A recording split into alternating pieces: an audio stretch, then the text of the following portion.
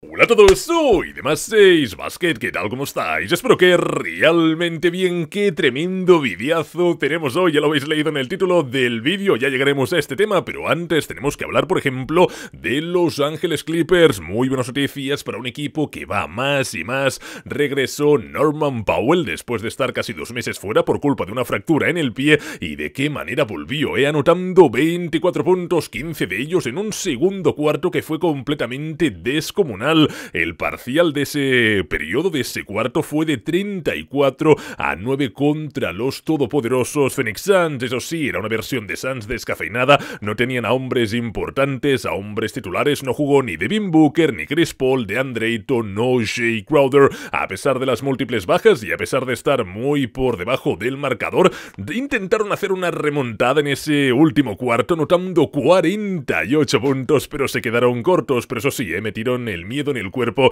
al equipo angelino. Seguiremos con Chicago Bulls, se confirman las malas noticias, se confirman esas noticias que no queríamos escuchar, unas noticias que si eres fan de este equipo te duelen muchísimo y hoy no te han dejado dormir tranquilo. Chicago Bulls comunica de manera oficial que Lonzo Ball estará fuera ya para todo lo que resta de temporada, incluyendo los playoffs, sigue teniendo dolores en esa rodilla izquierda lesionada. Ahora mismo continuará tratándose, seguirá haciendo ejercicios de rehabilitación para prepararse y estar listo, estar al 100% de cara a la próxima campaña de la NBA. Como ya dije en el vídeo anterior, una baja muy sensible, Lonzo Ball te aporta mucho más de lo que reflejan las estadísticas, te da un cierto equilibrio en ataque, en defensa, en inteligencia, un gran director, una pieza que era de vital importancia en estos Chicago Bulls que cada vez van a peor. Hoy, por ejemplo, pierden por 23 puntos contra Boston Celtics y caen hasta esa sexta posición. No sé si lo recordáis, pero hasta hace poquito tiempo Chicago Bulls iba segundo, tercero, cuarto, luego tercero otra vez, segundo, estaban en posiciones muy privilegiadas, pero se están desinflando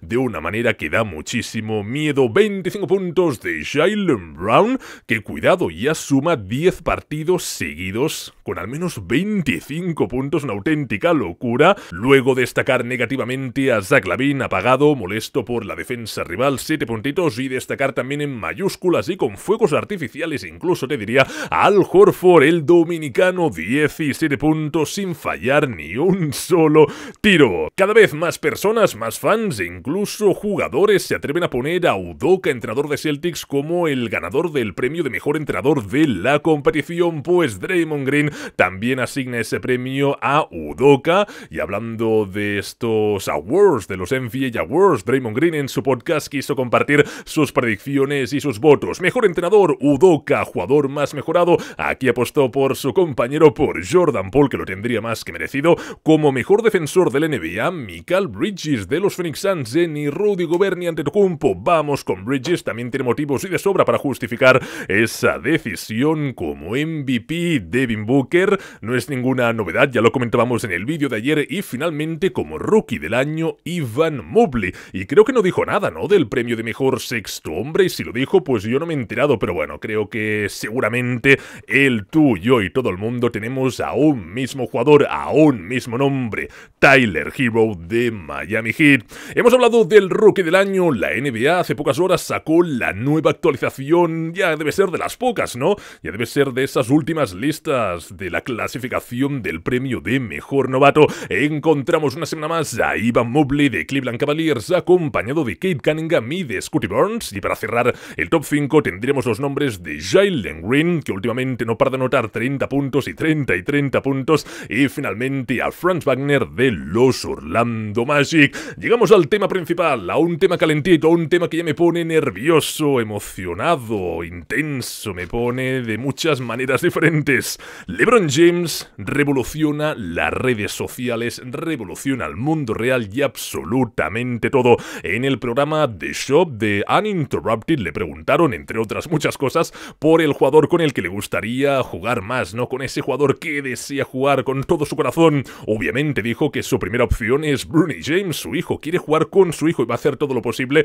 para que eso sea posible, pero luego le insistieron un poco más, le especificaron más esa pregunta, pero de un jugador actual, dime un nombre, un jugador actual, lo de tu hijo está muy bien, pero dame ese nombre y sin pensárselo demasiado, le vino rápidamente en su cabecita, mencionó el nombre del jugador que llevo hoy en mi camiseta, el nombre de Stephen Curry, dice que ama todo lo de Curry, que le gusta absolutamente todo y que cuando eres un rival y ya Curry sale del coche para ir al pabellón ya lo tienes que empezar a defender porque es un jugador que con esa magia y ese talento te va a hacer un destrozo sí o sí. También comentó cuál sería el jugador histórico con el que le gustaría jugar y dijo que más allá de Michael Jordan o Kobe Bryant, pues Scottie Pippen o Penny Hardaway, pero haciendo mucho hincapié en Scottie Pippen, el grandísimo escudero de Michael Jordan. A ver, LeBron James y Stephen Curry, eso sería una fantasía. ¿Hay alguien que no le gustaría ver eso? Cuando LeBron James y Curry ya jugaron en el All-Star, cuando los vimos por primera vez en un mismo equipo, bueno, todo era alegría, fantasía, buenas sonrisas, diversión, nos gustó muchísimo. Pues imagínate ver eso, trasladar eso no en un All-Star, sino en muchos partidos de la temporada regular. Sería magnífico, pero es difícil, es difícil, bastante improbable. No veo a Curry abandonando los Warriors para marcharse los Lakers. Tranquilidad, fans de Golden State Warriors. Stephen Curry no va a abandonar. El equipo de San Francisco se va a retirar en Warriors. Va a ser uno de esos grandes jugadores que ha jugado únicamente en un equipo. Una cosa que te hace ser muy especial, ¿no? No has tenido que marcharte a otro destino para ganar, para conseguir la grandeza. Has estado trabajando y trabajando para crearte un buen legado ahí. Una cosa que está intentando hacer el bueno de Damian Lillard.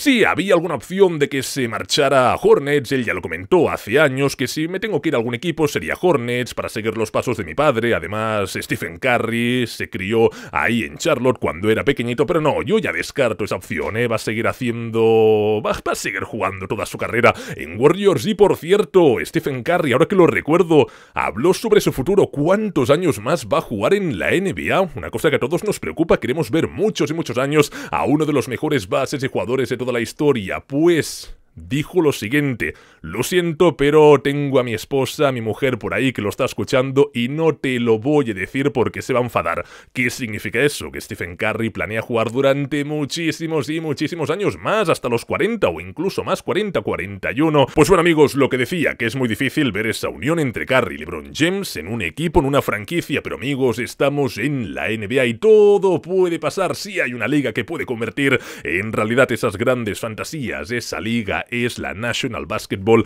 Association. ¿Qué opinó Curry de estas palabras de LeBron James? Porque Stephen Curry se enteró de todo. En el programa 95.7 de Game le pusieron esas declaraciones y esta fue su reacción. Bueno, eh, LeBron James ya tuvo su deseo, me eligió en los últimos dos All-Stars, ya jugamos juntos en los partidos de las estrellas. No sé si eso es suficiente, pero LeBron, estoy bien ahora mismo, estoy bien. Dice que también agradece estas palabras de una gran leyenda como LeBron James, etcétera, etcétera, pero Stephen Curry, uff, lo quiere frenar todo, quiere calmar ya ese mar que estaba con unas olas bastante grandes y considerables. Stephen Curry se lo tomó un poco con humor, pero parece ser que va a quedar así, ¿no? Va a quedar todo en una anécdota, lamentablemente. Molaría, ¿eh? Y ahora que lo pienso, también hace unos años salían esos rumores, antes de que se fuera a los Lakers, ¿no? Rumores fuertes que iban ganando fuerza de LeBron James, que se va a ir a los Golden State Warriors. Recuerdo esa época, ¿eh? Dios mío. Uf. Vaya veranito nos espera, ¿eh? Seguiremos con novedades del posible traspaso de Anthony Davis este verano. ¿Cómo que el posible traspaso de Davis? ¿Pero esto qué es? Pues se está comentando alrededor de la liga que si los Lakers quieren mejorar su plantilla,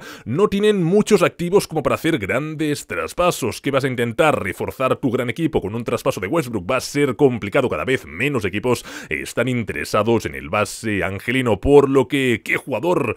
A cambio de traspasarlo, te puede dar un retorno bien potente, ya sea en forma de otra estrella o en forma de jugadores secundarios importantes para crear un equipo sólido, pues a través de la salida de Anthony Davis. ¿Lo moverán o no lo moverán? Pues la última información de Shake Fisher es lo siguiente, no se espera que el equipo considere seriamente moverlo este verano. La franquicia siente que si Anthony Davis está sano, pues van a seguir siendo muy muy competitivos. ¿Quién es muy competitivo? Siempre y cuando esté sano. Más allá de Anthony Davis, es Brooklyn Nets. Gran remontada hoy de 21 puntos para ganar a los New York Knicks. Para ganar de 12, remontas 21 puntos y terminas ganando de 12 puntos. Y hace poquito, también en el mes de febrero, Brooklyn Nets remontó 28 puntos a New York Knicks.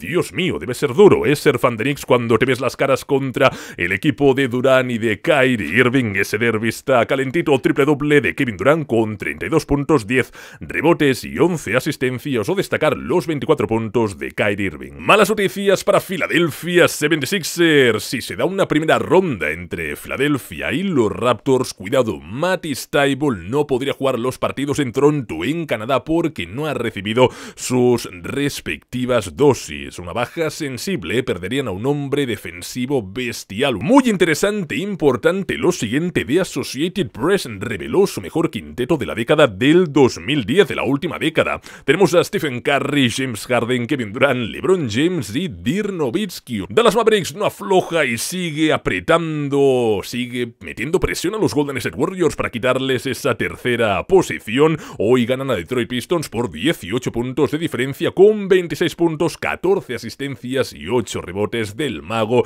Luka Doncic. Bien, Branson con 24 puntos y del equipo rival, Kate Cunningham, que no sé yo si el rookie del año, pero también está luchando hasta el último segundo. La mala suerte para él, lo que le afecta negativamente es que despertó demasiado tarde. 25 puntos de Kate Cunningham y ya tiene 8 partidos en esta campaña con al menos 25 puntos, 5 rebotes y 5 asistencias. Todos los otros rookies de este año combinados únicamente suman 7 partidos con estas características. de Kate Cunningham, repito, un total de 8. Parece ser que Utah Jazz entra en buena dinámica, una cosa necesaria, lo necesitaban y más ahora que ya se acercan los playoffs. Ganan fácil a Oklahoma por 36 puntos de diferencia, 27 de Bojan Bogdanovic, 20 de Rudy Gobert. Y hay otro equipo que también está bien activado, Atlanta Hawks, 7 victorias en los últimos 9 partidos, esta última contra Washington Wizards, superando los 26 de Porzingis, 30 puntos, 11 asistencias de Trey Young, 26 del crack italiano Danilo Gallinari. Todos sabemos que Bama de Bayo es un grandísimo defensor y que algún año podría levantar el premio de mejor defensor de la temporada, pues le preguntaron por ese jugador que es más duro de defender y cuál fue su respuesta. Kevin Durant dijo es un jugador de 7 pies que puede hacer absolutamente de todo. Sobre Kevin Durant, esto me viene muy bien para enseñaros el grandísimo regalo que la NBA le hizo, esa chaqueta conmemorativa del 75 aniversario, me parece bestial, con el logo de Oklahoma, de Brooklyn, de Golden State Warriors, y terminaremos con la sección en la que tú me dejas algún comentario por aquí y mañana pues puede salir en el vídeo. En esta ocasión el que tenemos es el de Víctor Castro, me dice, me propone el siguiente reto, Run Tatum y Luka Doncic, uno titular, uno suplente y el último expulsado. Dios mío, un reto que me hace sufrir como titular. Voy a poner a Luka Doncic como suplente, Jason Tatum y sintiéndolo mucho, Jamoran, te expulso, pero te quiero, ¿eh? Sabes que te quiero, ya sabes que hablamos hace poco y que te mostré todo mi cariño. Bueno, cracks, hasta aquí el vídeo de hoy, el vídeo que ayuda a ir sacando más. Un abrazo para todos y también un saludo para William Pérez, Amin Hernández, Aarón y Albert. Un abrazo y nos vemos muy pronto.